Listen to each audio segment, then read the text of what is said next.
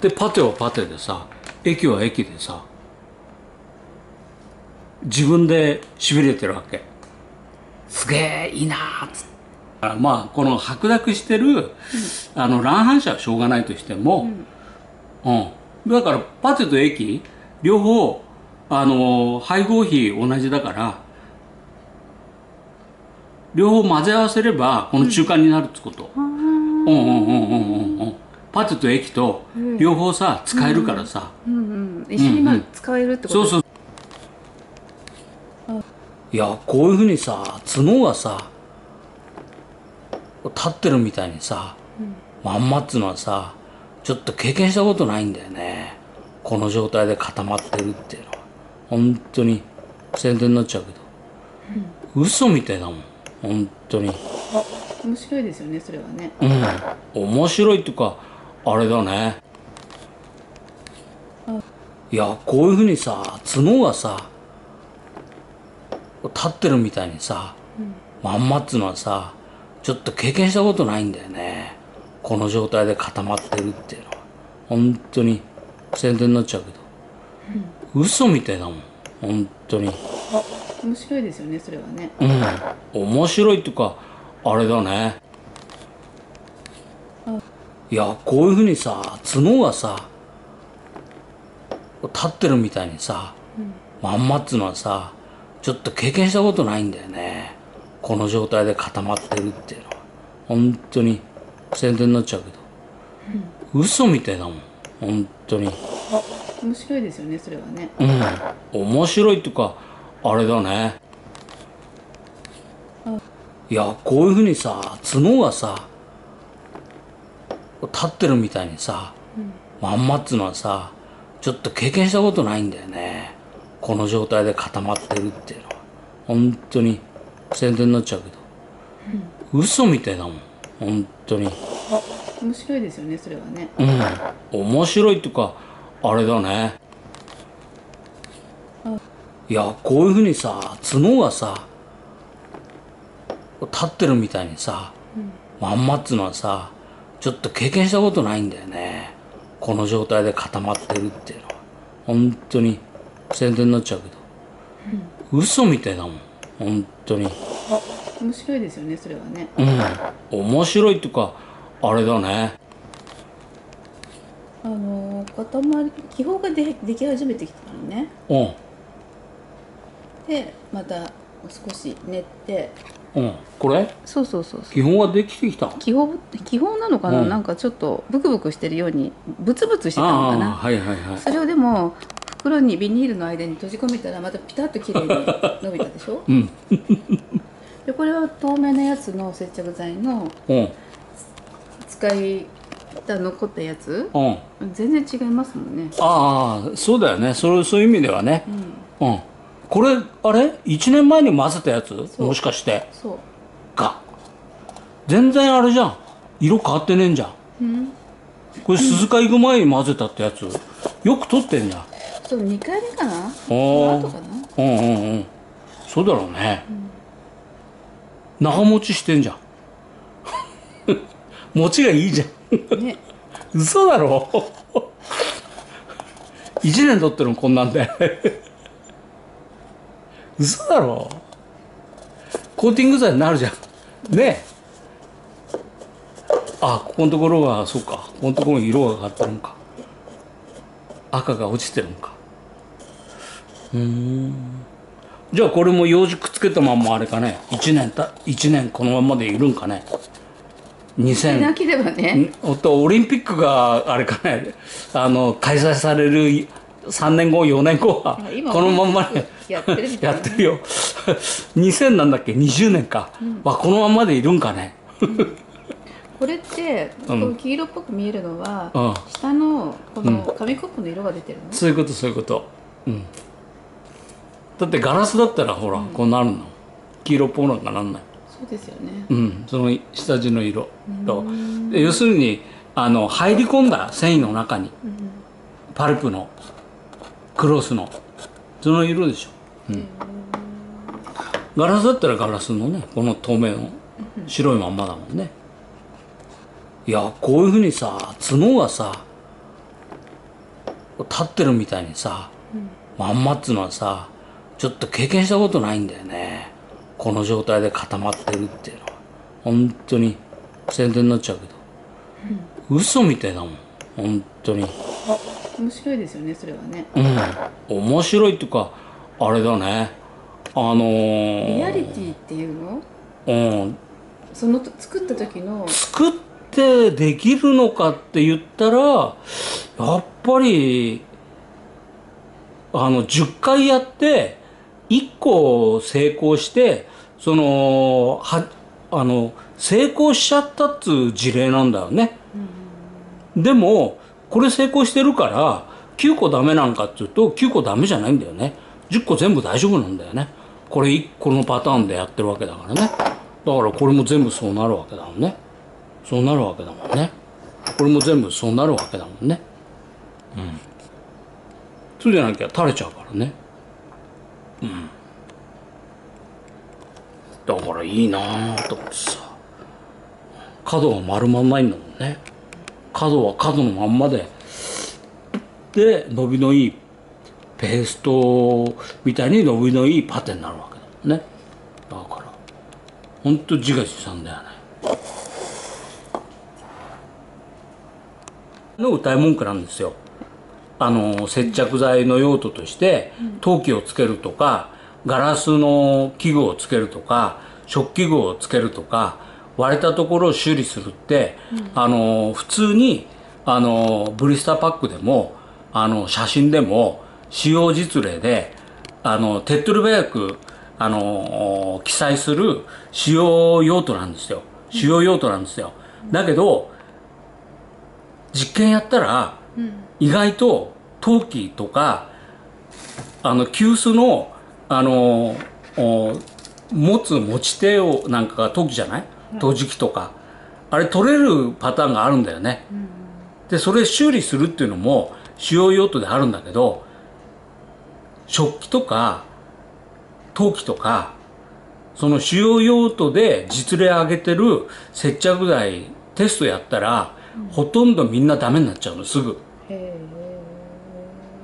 なんでかっていうと、食器はあのぐらぐら煮るでしょお湯の中で煮たりなんかするでしょ、あででうですよね。うん、主婦の人たちが普通に使うでしょ、ん。だから耐久性で言うとすんごい過酷な耐久状況なのよ、そうするとあのこれの接着剤があのすあのああいうふうに使用用途で書いてある実例から見ると耐久力のある接着剤っていうのが一つもないの。全部ダメになっちゃうの。それダメになるっていうのはどのくらいっていうと下手すると1週間持たないの。へうん。だって5分間でつく接着剤なんかは、それお湯の中で煮たら、耐熱性耐水性両方ともないんだから、あの1日なんか持たないよ下手すると1時間持たないでダメになっちゃう、そうじゃなければ僕らのところに電話かけてこないもん。陶器がに接着する接着剤ありませんかってさんあの昔ながらからやってるおバカなあの問い合わせってありえないもん。そういう接着剤ってありますかっていう,、いうことを聞くさ陶磁器メーカー有名なメーカーってさ、の担当者ってさあの信じられないでしょ？ないんだもんそんなの。なんで僕らに聞くかっていうと実態はそういうことなんだだからこの辺のやつはあのそういう意味からするとあの花丸二重丸の接着剤になりうるんですよ。だから意外とこういうアイテム作ってて持つものがあるかどうかってあの比較試験しだすと持つものってほとんどないっていうか、レアケースなんだよね、でそんなんで自慢話していいですかね？どうぞどうぞ。以上です私なんかもう瓶の蓋に何かつけたい時なんかねあ今まではこんな風に下の底がね見えるような作り方っていうのはしなかった。埋め尽くしてごまかすみたいな。そういうやり方うん。にしてたんだけどこれだとそうじゃなくって、うん。うん、下地が見える状態でもうん。こんな風に一個ずつでうん。バラバラであこうくっつけていける？うん。っていうことができたなという。ああはいはいはいはい。デザインで下の下地の柄をあのー作っといてでアイテム乗っけてごまかすみたいなね。そうそう前はそんなうんうにしかできなかったけど、うん。これごまかさなくても接着剤がねうん。はみ出たとしてもそれはそれで活かせるっていう、うん。主役じゃないからね。脇役だからね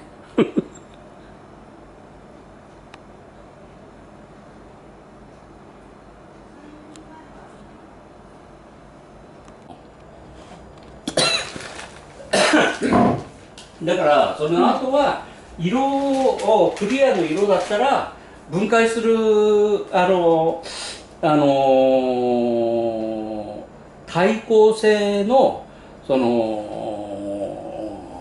着色剤のクリアカラーの強さによって違いが出ますよね。ソリッドカラーだったら別ですよ、あの絵の具みたいにさ顔料系のやつだったら強いよ、白とかさ、あのブラックとかさ、ああいうやつだったらあの色によってあの色がさなんていうの変色しちゃわないじゃない、だけどあの赤なんかはさ特に日差しの強いところなんかはさあの赤が琥珀色みたいにさ、飛んじゃうじゃない？今特に鉛使えない時代になってるからさ、リードフリーの時代になってるから対抗性特に弱くなってるじゃんだからペンキでもさ、印刷物でも、うん。日差しうん、日差しが強いところは、あの退色してっちゃうじゃん。でそれは顔料によってインクの種類によって。へえ、で強いのは比較的強いのはクリアのイエローなんか。琥珀に近いようなやつ。でブルーなんかは結構あのー退色するよねうん。だけどほらラピスラウツリーみたいにさ、昔からあの絵じゃないけど、あのブルーの少女とかさいろいろあのエジプトからほら顔料持ってきたとか持ってこないとか古い時代からさ使ってるあの絵の具みたいなさ、あのいろいろ顔料があるじゃない、強いやつから弱いやつからさ、だからそれによってだよねほら染料の作家さんってさ、そういうのをいじくったりさ、ビーツでも何でもさ好きじゃんそういうの、大変じゃん。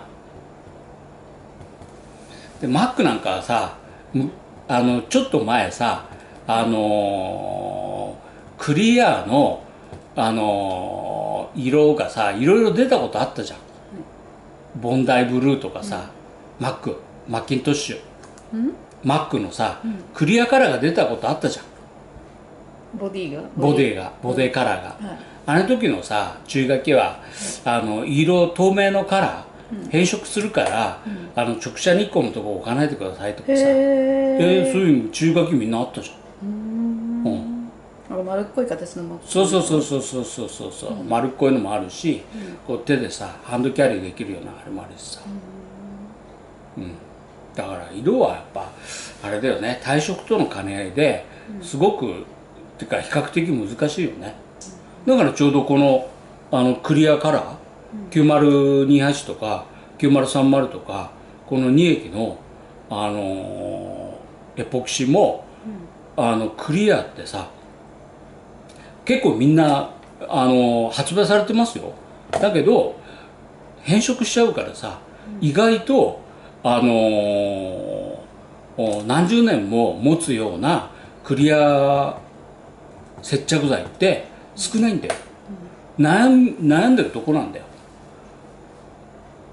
でほらあのよく使う人はさ、もうクリアの二液とか接着剤、色が変わるってさ分かってるからさ、でダスオのメーカーの方もさ、あのーそういう用途屋要するに屋外、対抗性がいいようなところ。でガラスの接着なんかはさ接着したところは色が変化しちゃうからさクリアじゃなくなっちゃうじゃん。だから使わないでくださいとかさ書いてある。でだからあの室内で使うそのクリアの用途なんかにこういうあのプロトの試作の透明エポキシは使われてるからさ。だってひどい話あるよ。映画撮影してて、ほら怪獣の目なんかがあるじゃん、みんなクリアじゃん、あれ、あの撮影してる時間が経つとほら半月とか1ヶ月とか撮影するじゃん、その時にあの作った人たちはあのあの怪獣の目の色がだんだんつ黄ばんでくるって分かるみたい、へ言ってたもんあの制作会社に提供して提供したその目を作った義眼だよね、うん。作ったクリアうん。のあの材料、あれあの画像で見たら、あの映画で見たら変色しちゃしだしてるんだよね。ってのを喋ってたの。聞いたことあるもん。へあそうなの?」っつって「どこの材料?」っつって。うちの材料じゃないんだけどさ、言ってたの「あそう」っつって。それはちょっとあれだよね。あの聞き捨てならないよね。で一応これあの垂れないかどうか？含めて。これ用途がさ透明の FRP 作るとさその透明の FRP のあの隙間が開かったところとかさ肉盛り？どうしてもこのパテでやりたいっていう用途もあるみたい。ニーズも、はい。うん、だからあのパテと液なの。よ、うん、それであのパテだからといってあの耐熱性が落ちるとかあの耐薬が低下するとかいう QCD をあの狂わ狂わせてあの同じじゃなければいけない。透明のやつが使えたらあのパテも同じグレードで同じクオリティで使えなきゃいけない。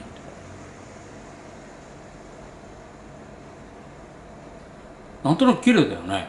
そうですよね。やっぱりね。うん。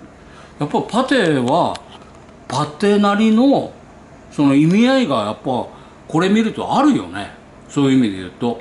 だから例えばこっちはうん垂れるから まあひこういう感じなんだけどあこれはちょっと一度剥がしたりなんかしてあまあ汚いんだけどあ後で固まった時の状態が全然違うってことですよね。そうだね、だから座りがあのーなんていうの？クリアランスが隙間ができないから、座りがいいいいとかわざわざそのためにあのーお座りを良くするアイテムを作んな作んなくていいからパテがいいねとかいう話をしてたよ自分。そうですね、うん。だからこっちの場合だったら、まあ、平らだけどうん。こうこういうふうにザラザラで残るってことは、もうまるっきりこれと違うものっていう。そうだよね。だから品物とするとあれだよね。どっち使うかまたはさっき言った通りパテと液混ぜ合わせて自分の、あのー使い勝手のいいようなペーストってできるからそれなりにアレンジはできますよね。パテに液を加えればペーストになるわけだからさ。そらそれで。これも全うん。然落ちずに、落ちない。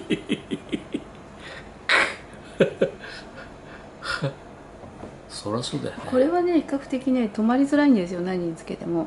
うん。だけど よく止まってそうだよね、でさあの僕ね石あの机の周りにこれくっつけてたことがあるんだよ、ホットメルトかなんかで、違う接着剤で、そしたらね自分のじゃないので。面倒くさいから、そしたらねあの机のとこであの作業やってたらボロッとくっつけたやつが落ちてきたことなんだよ、え頭きてさ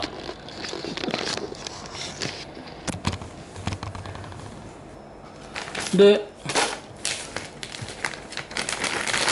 これが9090 90駅？駅がこうでしょ。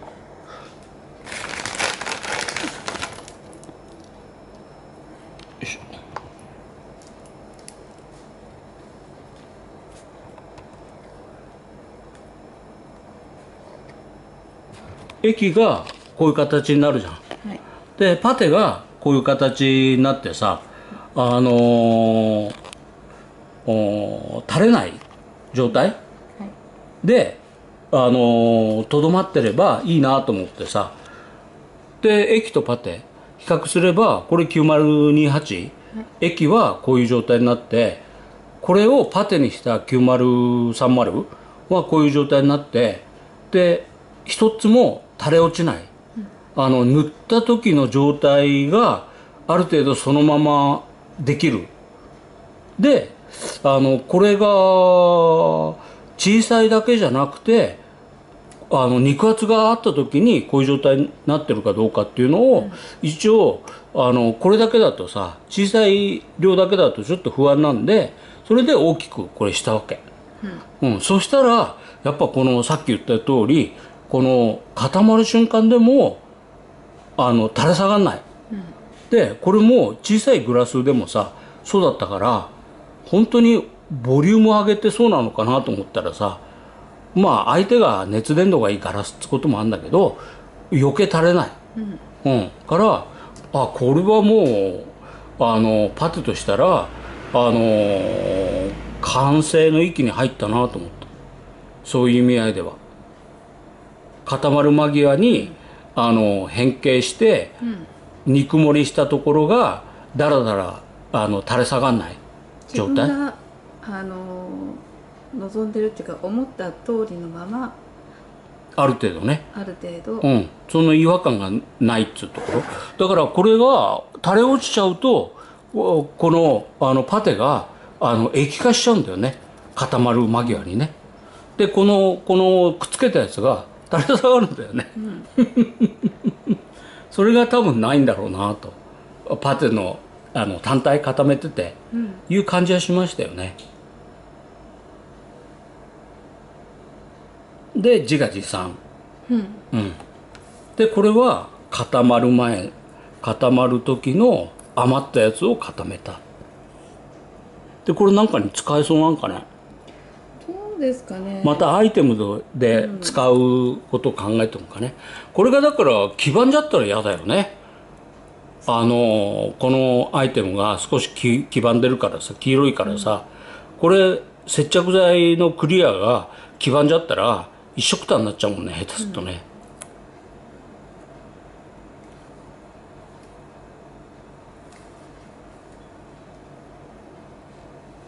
なんかありますか？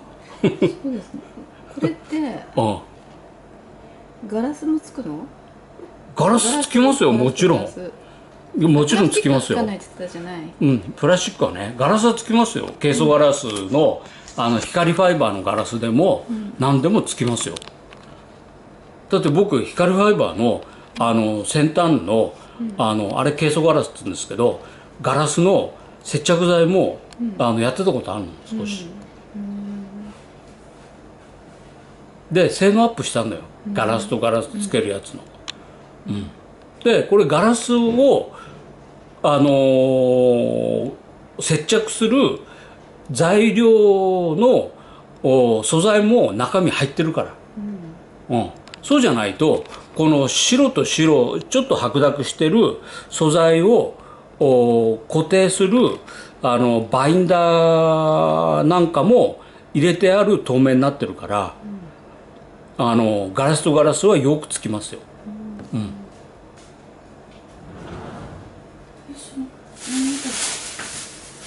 ビー玉ってガラスですよね。そうだよ。ビー玉もつくのかな？つくよ。もちろん。だからビー玉とビー玉のあの Q と Q の R の接線上なんかのパテなんかにも当然できますよ。ね。うん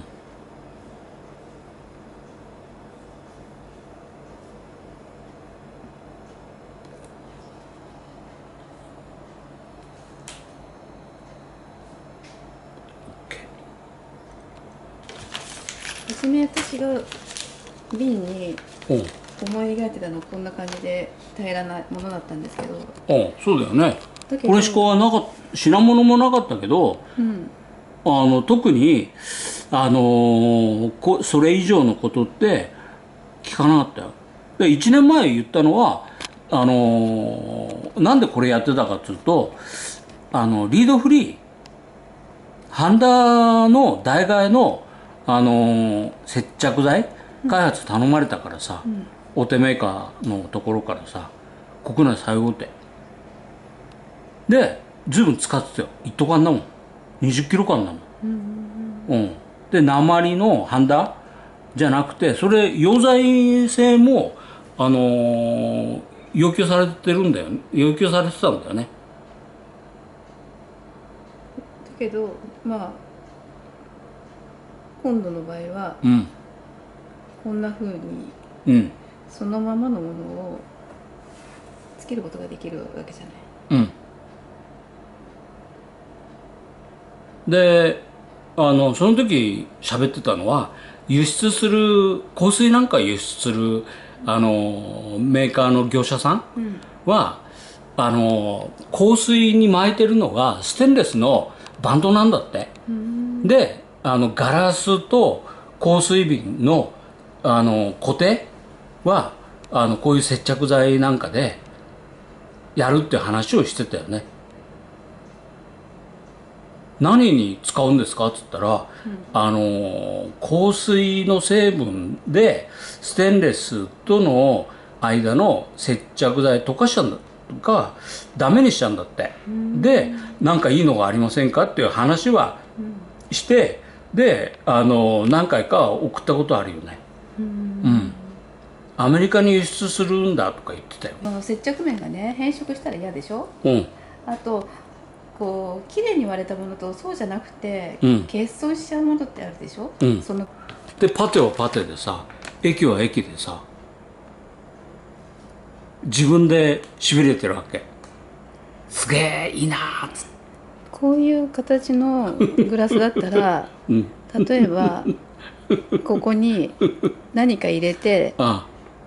そういう意味で言えばね。うん、また工夫することができてうん。こっちから見ると綺麗に見えるかもしれないですね、うん。だからまあこの白濁してる、あの乱反射はしょうがないとしても、うん。だからパテと液両方あの配合比同じだから両方混ぜ合わせればこの中間になるってこと、うん、うんうんうんうんうん。パテと液と両方さ使えるからさ、うんうん、一緒にまあ使えるってことね。そうそうそうそうだか着ら色剤も使えるんですよね。そうそうそう。うん？着色剤も。そうそうそう。着色剤はあの色が落ちちゃうからさ、うん。着あのずっと立ってると、うん。着色剤のクリアが。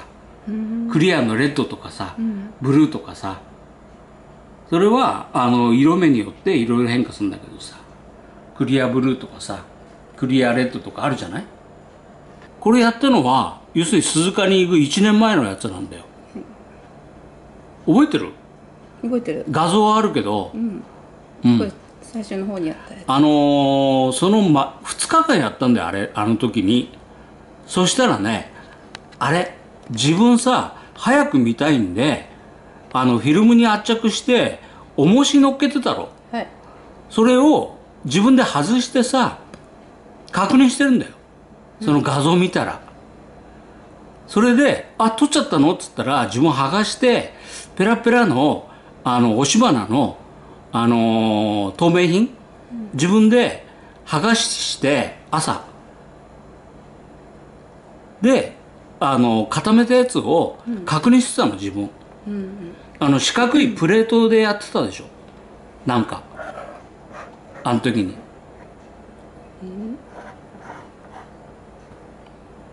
それ。でもこれもあのほとんど変化ないもんね。そうですね。感じね。うん。1年経ってね。うん。中の色もうん。変わってない。買ってないよね。いいね。ということはこのパテ状もあの同じ組成だから基本は。液状があの変色があるとパテ状も変色があるわけ。うんうん。だから液状ができないとさパテ状できないんだよ。うん。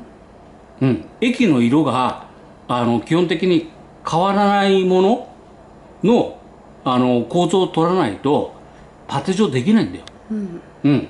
だから液が1年経ってもこんだけでの状態だから、9028だからこのパテ状の9030も同じように推移するんだよ。